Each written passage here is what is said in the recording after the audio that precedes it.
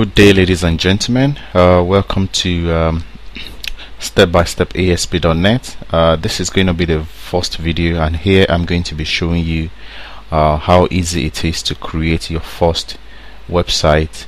Um, I hope you've downloaded the uh, Visual Web Developer 2008, which I'm which I'm going to be using. The Express Edition is a free application people usually say Microsoft don't gi give free stuff. So they, they are very wrong because this uh, application is very very powerful. You can use it to create a full-blown web application and it's all free. Anyway let's get down to business.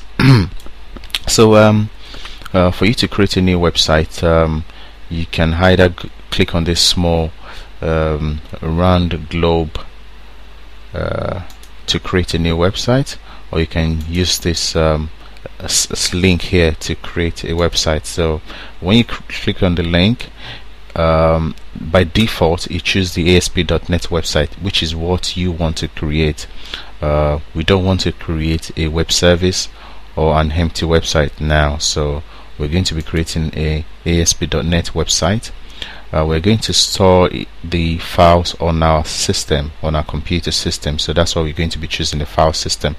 You can also use the HTTP or the FTP which I'm going to be covering in details in the future.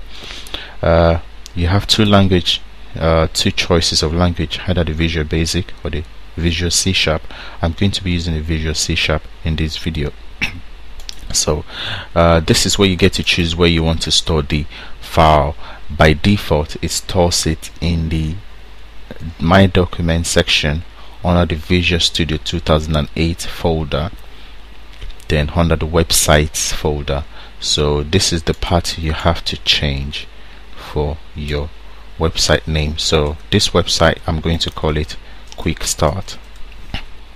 Uh, if you want to choose somewhere else to place your files.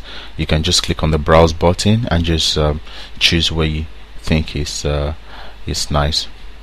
I'm going to cancel out because I'm perfectly happy with where is the default location. And I'm going to ch uh, choose uh, I'm going to show you how to choose to use a different framework. Here I'm going to be using the .NET framework 3.5 so I'm going to OK that.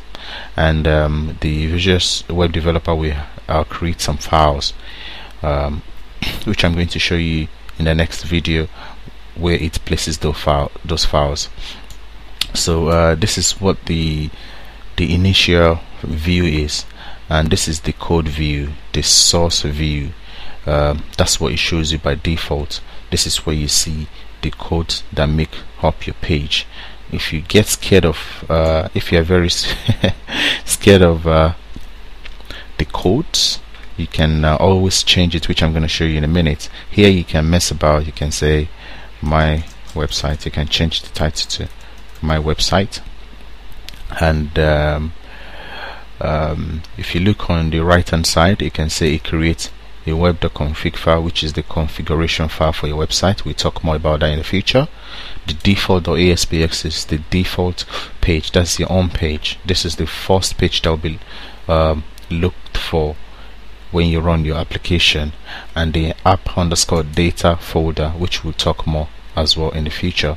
So just like I said before you can you can either work in this format. You can start typing inside the div tag. This is my website. Uh, or if you are very scared of code you don't want to see the code you can use the split view which um, enables you to work to see the uh, design and the code at the same time.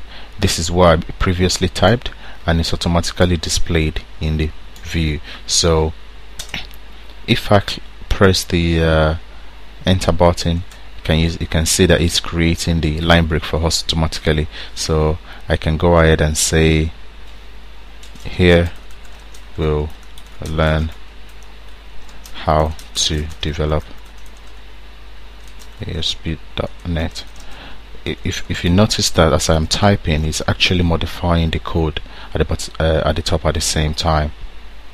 So uh, this gives you more flexibility. You can work in the design view and see the code. You can work in the code section and see it in the design view or you can just go to the design view without having to uh, see the codes at all you know because I know some people don't like to see the code. And the beauty of ASP.NET is you don't have to see the code. There is a lot of uh, things you can do on your website without having to write any form of code whatsoever. So um, that's just a quick start. So now how do you see your website the one that you just create? Um, to run your application all you have to do is just click on this small green play button which is going to be a start debugging. So it pops up with um, uh, a warning asking you if you want to enable debugging in your web.config file.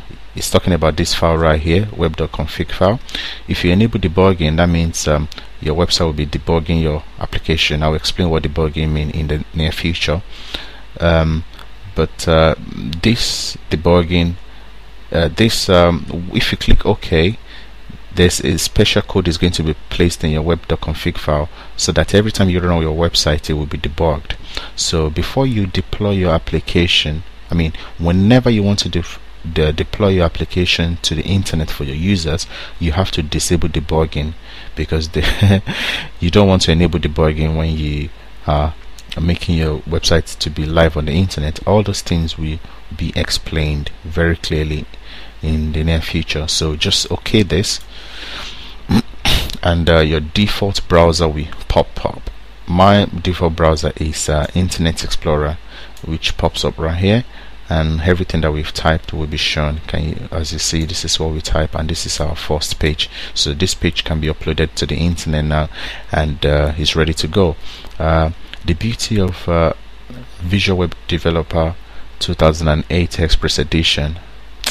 You know what? That is mouthful. From now on I'm going to be using Visual Studio because that's more easy to pronounce. Okay. Uh, the beauty of it is is that it has um, built-in web server. As you can see we don't we didn't have to mess around with uh, the IIS or the Apache web server or any other web server whatsoever or have to upload it to the internet. We have uh, this web server built in right into Visual Studio which makes our life so easy. And um, I'm going to be touching on everything. I'm even going to show you how to use IIS if you decide to use IIS I'm also going to show you how to you know upload your application to the internet so that uh, it can be live and everybody can use it. So um, can you as you can see the quick start that's where we uh, put our, um, our, our files and the default is the one that shows up. So we can close out of here and um, that's it really. So go ahead create your first uh, web application uh, just a simple page and come back to the next video and see how to add more pages and uh, other stuff. Thank you